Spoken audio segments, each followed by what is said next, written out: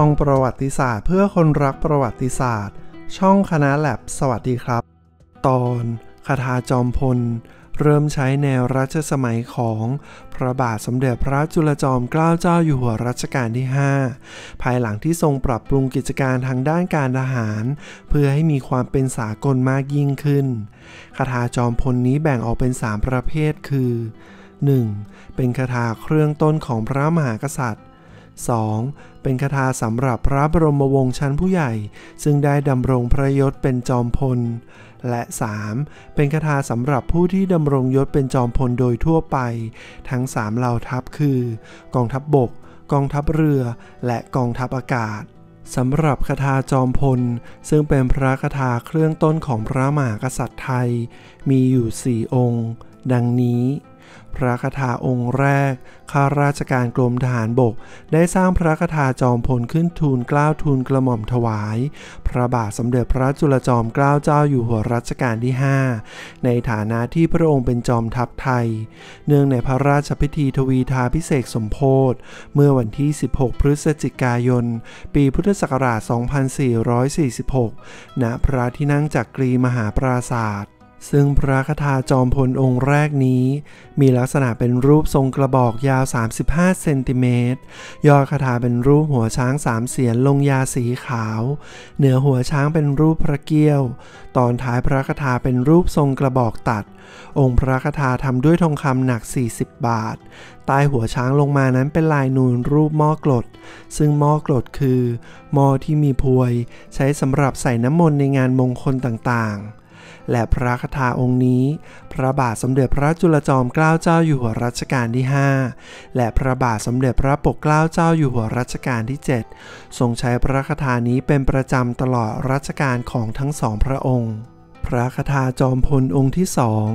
ข้าราชการกรมยุทธนาธิการได้จัดสร้างขึ้นทูลเกล้าทูลกระหม่อมถวาย พระบาทสมเด็จพระมงกุฎเกล้าเจ้าอยู่หัวรัชกาลที่ 6 ในฐานะที่พระองค์เป็นจอมทัพไทย เนื่องในพระราชพิธีบรมราชาพิเศษ เมื่อวันที่ 2 พฤศจิกายน พุทธศักราช 2453ซึ่งพระคาถาองค์ที่สองนี้มีลักษณะส่วนใหญ่ คล้ายคลึงกับพระคาถาองค์แรก ต่างกันแต่เพียงตรงยอดพระคาถาซึ่งเป็นมงกุฎและมีลายเฟือง อยู่ตรงแถบกลางใต้ฐานของยอดมงกุฎโดยรอบเพียงเท่านั้น พระคาถาจอมพลองค์ที่สามในรัชสมัยของพระบาทสมเด็จพระมงกุฎเกล้าเจ้าอยู่หัวรัชกาลที่ 6 พระองค์ได้พระราชทานแบบคาถาจอมพลองค์ใหม่ทำด้วยทองคำเกลี้ยง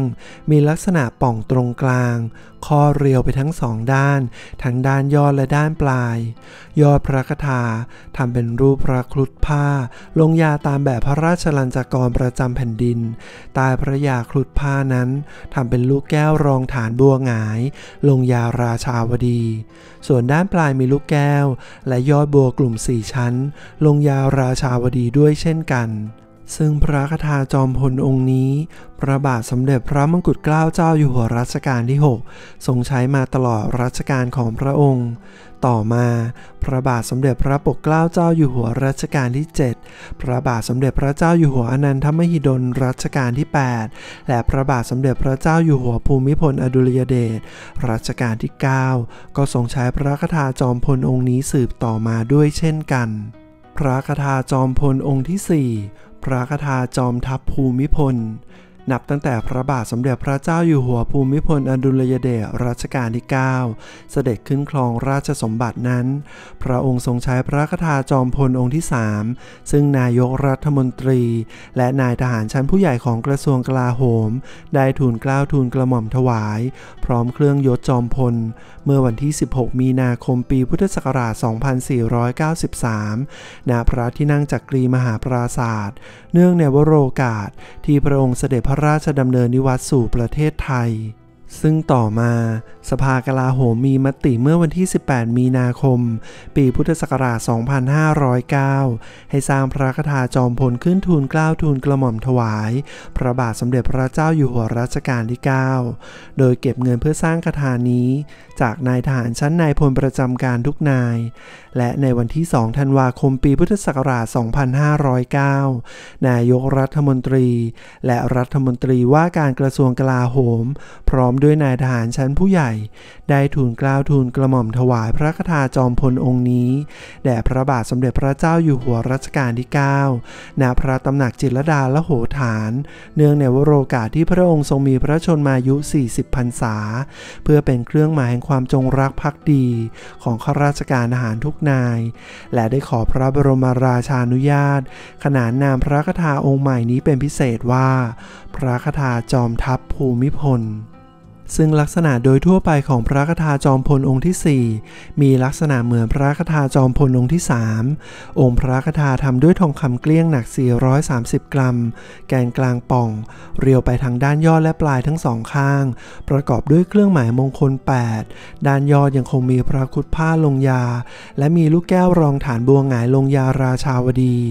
ด้านปลายมีลูกแก้วและยอดบัวกลุ่มสีชั้นลงยาราชาวดี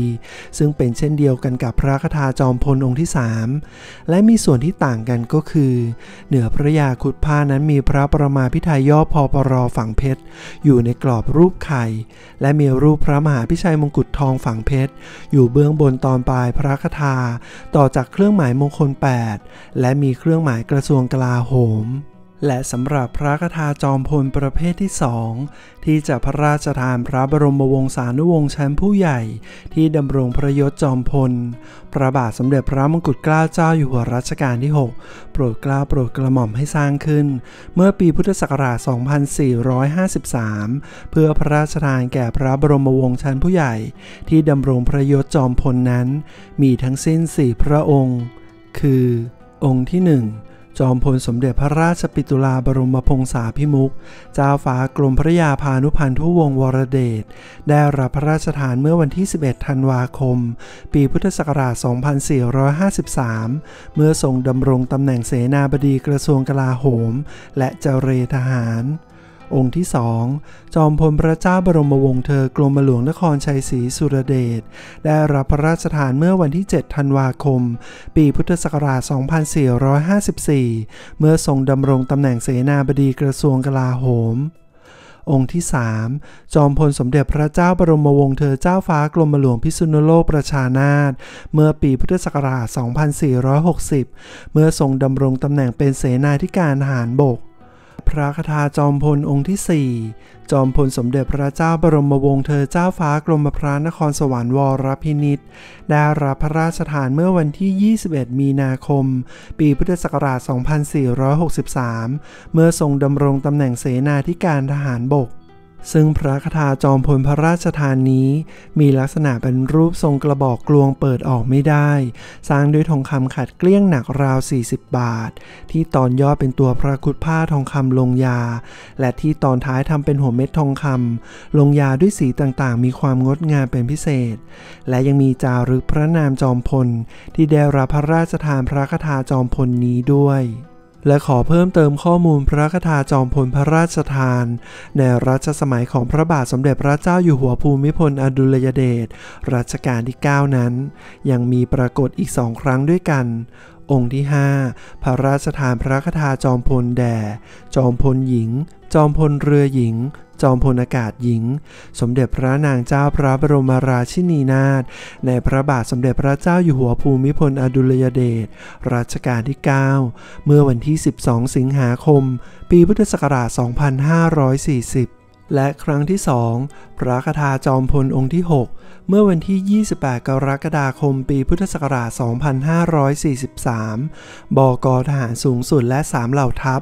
รวมถึงสตช ได้สร้างขึ้นทูลเกล้าวทูลกระหม่อมถวาย แด่สมเด็จพระบรมโอรสาธิราช สยามกุฎราชกุมาร ซึ่งเป็นพระอิสริยยศในเวลานั้น ในวโรกาสที่พระองค์ทรงเจริญพระชนมายุครบ 4 รอบ และเมื่อวันที่ 8 มกราคมปีพุทธศักราช 2541 กองทัพเรือได้ขอพระราชทานพระยศจอมพลเรือ แด่จอมพลเรือสมเด็จพระมหิตลาธิเบศอดุลยเดชวิกรม พระบรมราชชนกด้วย ถ้าคุณชอบเรื่องราวต่างๆ ทางประวัติศาสตร์ อย่าลืมกดไลค์ แชร์ Subscribe เป็นกำลังใจช่องคณะแลบกดกระดิ่งเตือนไว้จะได้ไม่พลาดในคลิปต่อไป ขอบคุณครับ